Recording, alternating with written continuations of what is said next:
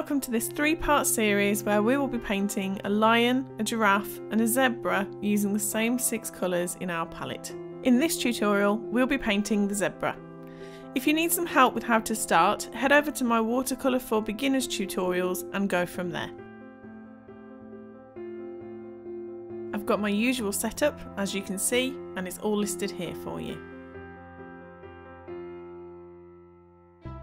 And in addition to this, I've got my reference photo printed on A4 paper. You can use your own if you want to, uh, or if you want to use the same one as me, you can find a link in the description where you can download it. I know a lot of beginners can find the initial sketch hard work, so I'm going to show you a quick and easy way to transfer your image into a line drawing. Firstly, print out the image onto normal printer paper. Then flip the paper over and cover the back of the image with graphite. I find a graphite stick works best as you can quickly cover a large area, but you can also just use a pencil.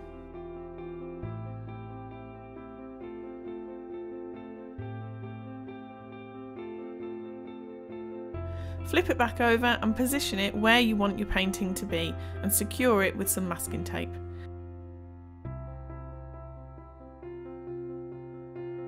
I've positioned mine over to the right because I've sectioned off a small part on the left for testing paint colours. Now take your pen and draw around the zebra's markings. Make sure you don't press too hard. You can check that the image is transferring by just lifting part of the paper. Remember to keep it in place if you haven't finished your drawing.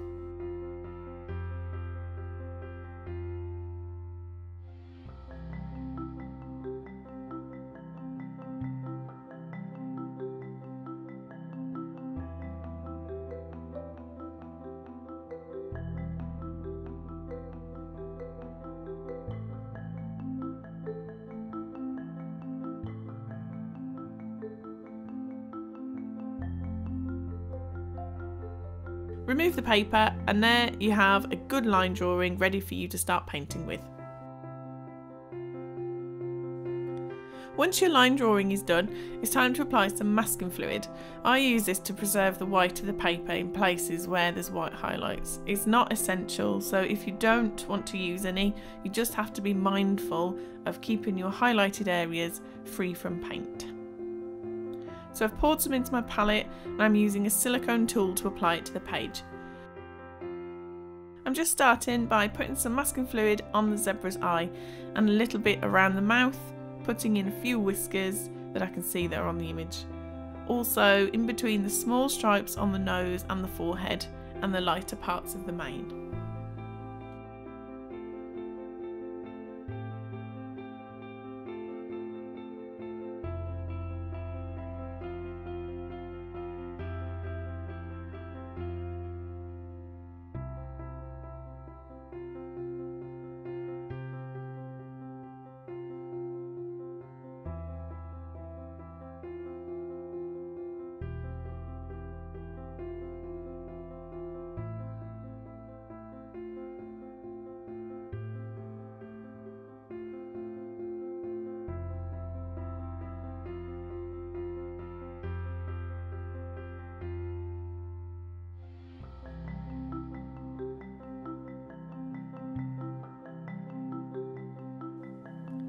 You need to make sure this masking fluid is completely dry before we start painting. So while that's drying, it gives us a good chance to get our paint mixed and ready. We're using six colours, two light range, two mid range and two dark range. And there's a warm and a cool version in each range. So you can use whatever you've got in your palette that matches, but I'm using Winsor & Newton watercolours and the colours are gamboge hue, yellow ochre, burnt sienna, burnt umber, purple lake, and Payne's grey.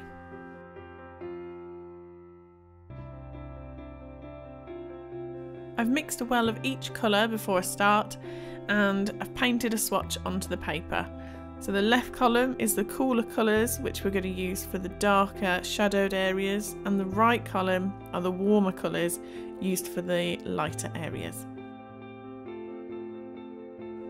With watercolour we tend to work from light to dark so the lightest areas here are on the front of the zebra's face.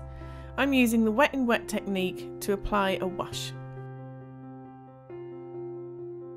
Start with fresh clean water, then apply the paint to the wet area.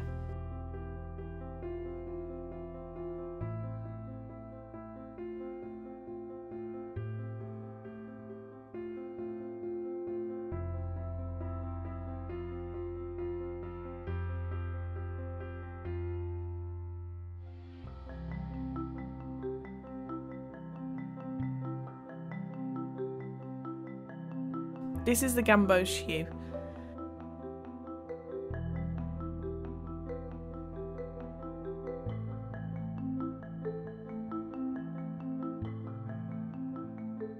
Let that dry slightly because we're going to paint in some of the stripes with the burnt sienna and if the paper's too wet then the colours will blend uncontrollably.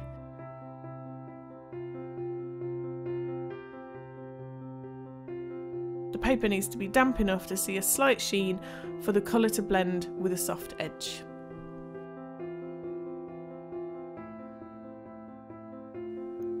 So using the burnt sienna, I'm just going to paint in some of those lighter stripes on the zebra's forehead.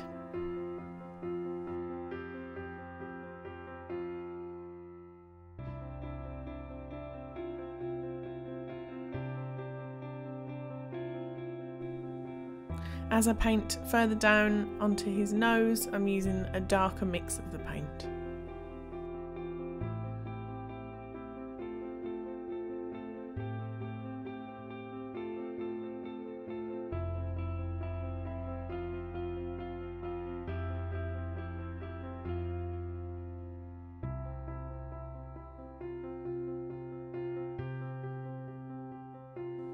Next we'll paint the cheek. This area is in more shadow than the front of the face, so I'm using the mid-range colours. Start with a wash as before, and I'm using the yellow ochre on the light parts and burnt umber for the stripes. Where the stripes meet the previous wash, I've used clean water just to blend them together.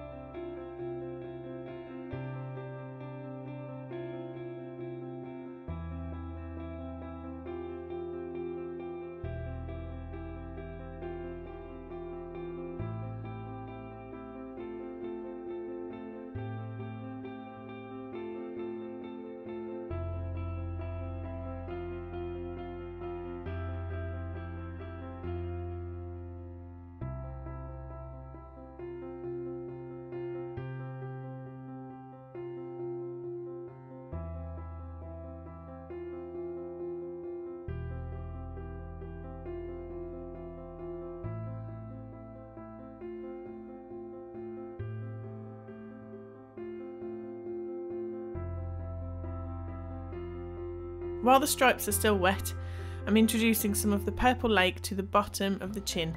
This is going to enhance the shadow under the chin.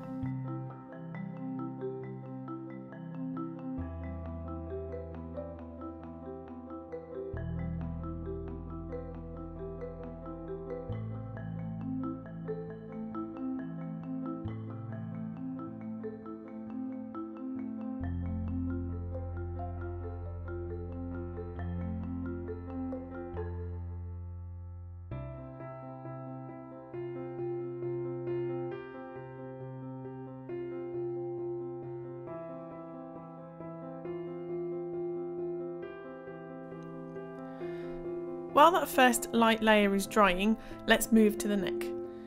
This is going to be darker than the face and I want to go bold with the purple lake and Payne's grey colours. Although it's a dark area, we still need to start with the lightest parts.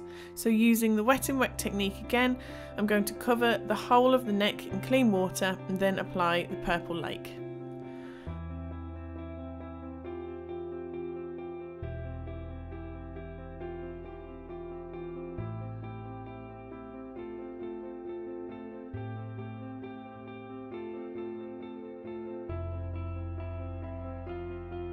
While the paper is still wet, I'm adding a little bit of yellow ochre to what would be the white parts of the zebra's coat.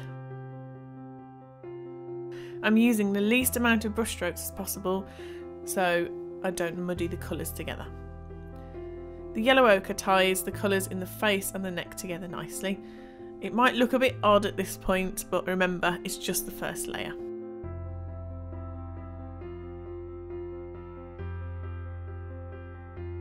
So that needs to dry completely um, before we go any further. So let's move and work on the mane.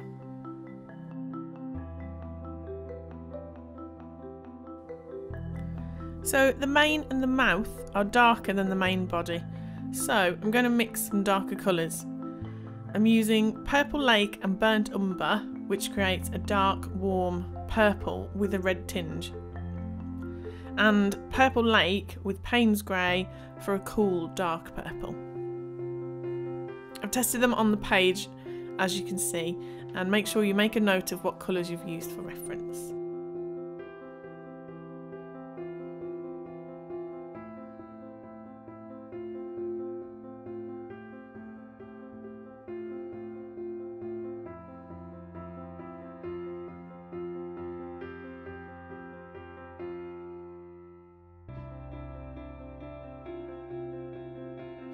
So now we can start painting the mane. Uh, start with the clean water, then apply the cooler mix into the dark stripes.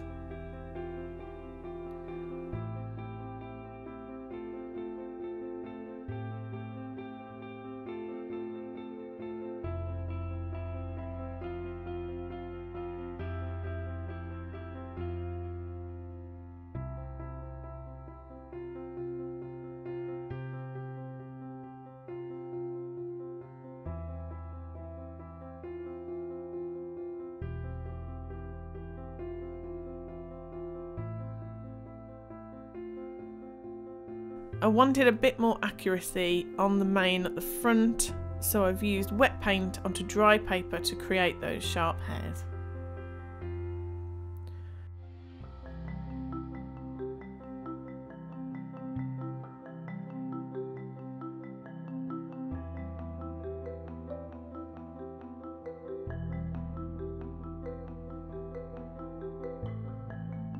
Remember, the front of the face is in the light, so I've started with the warm mix on the top of the nose and used the cool mix for the mouth as it's in the shadow.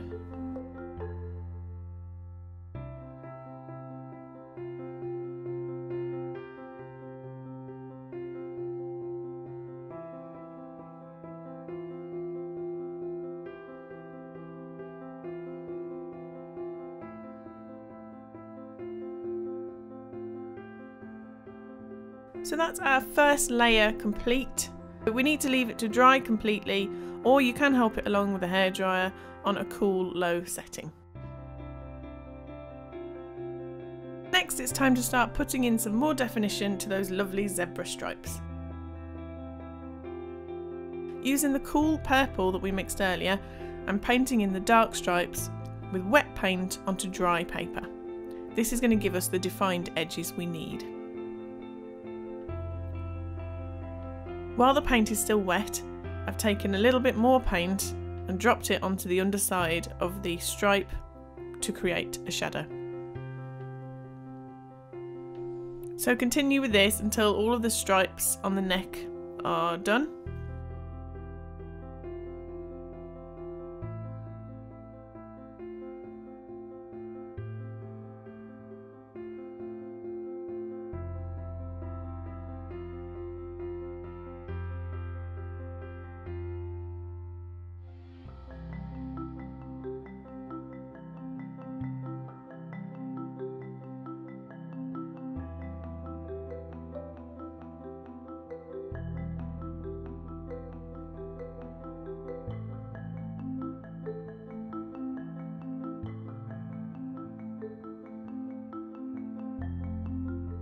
Paint's dried too quickly, you can always use some clean water and a damp brush just to blend out the hard edge.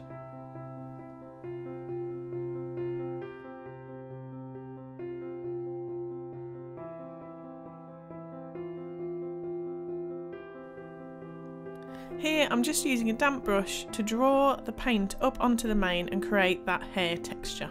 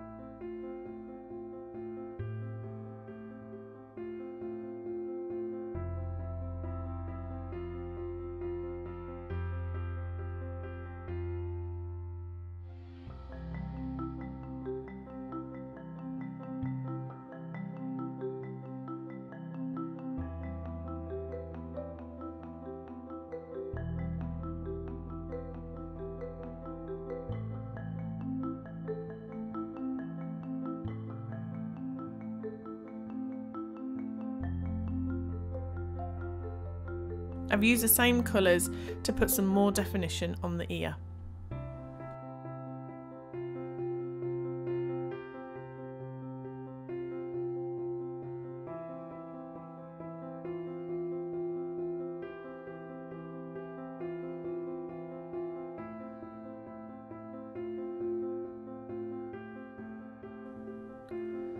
As we reach the stripes on the cheek, we need to use the warm mix of Purple Lake and Burnt Umber and continue until all of the cheek and forehead stripes are done. Remember to drop more paint onto the shaded areas of each stripe.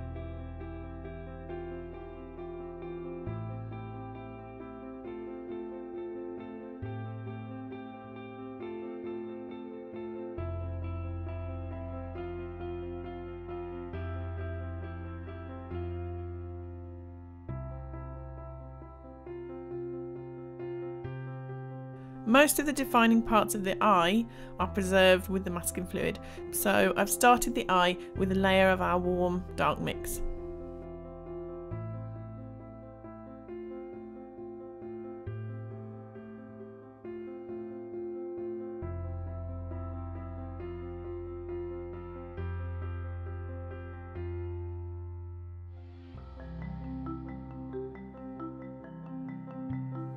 So while the stripes are drying, move to the mane where we can add some texture with some wet paint onto dry paper.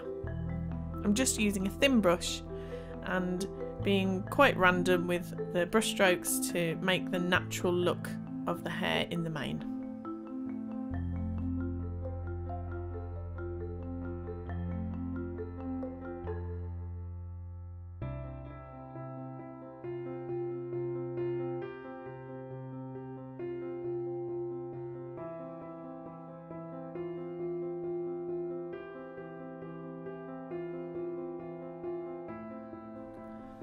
So we're almost there with this painting and for the final layers of details I'm going to use Payne's Grey to add more contrast to the dark areas. Uh, so this is the stripes on the neck, uh, parts of the mane and the mouth and we need to define the eye as well. I'm using clean water first and then applying wet paint so that it will blend nicely with the paint layer beneath.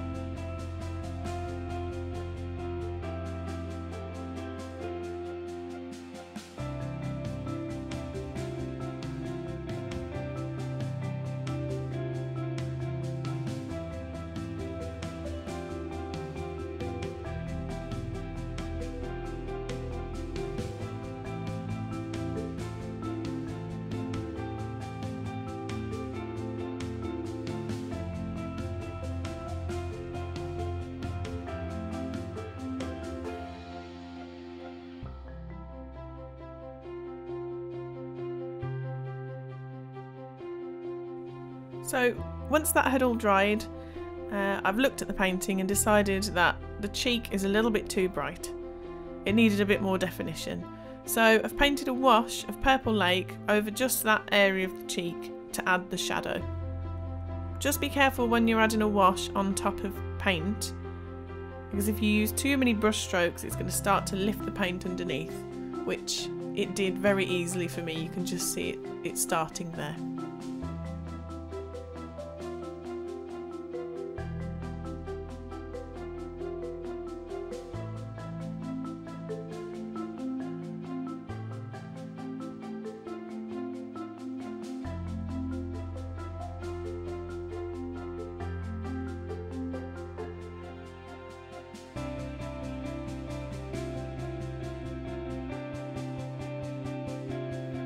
Same thing on his forehead and also under his neck just to enhance the shadows on the lighter parts.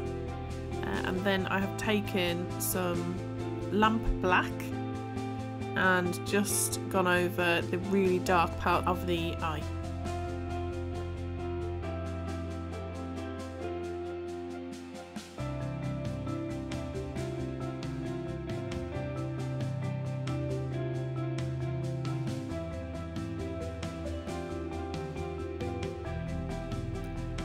So once that's dried completely, we can remove the masking fluid. Just lightly rub the areas where you've applied it and it should just peel off.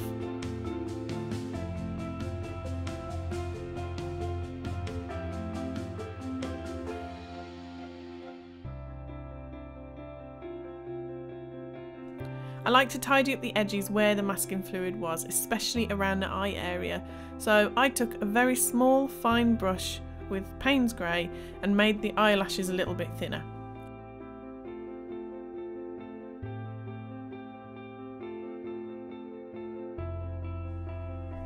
And that's it. Uh, I'm happy with how this one turned out. I think the zebra study is a good example of understanding light and dark and cool and warm colours. I hope you enjoyed painting along with me. Don't forget to try the next tutorial in this three part series. Make sure you've subscribed to keep up to date with all the latest tutorials. Bye for now.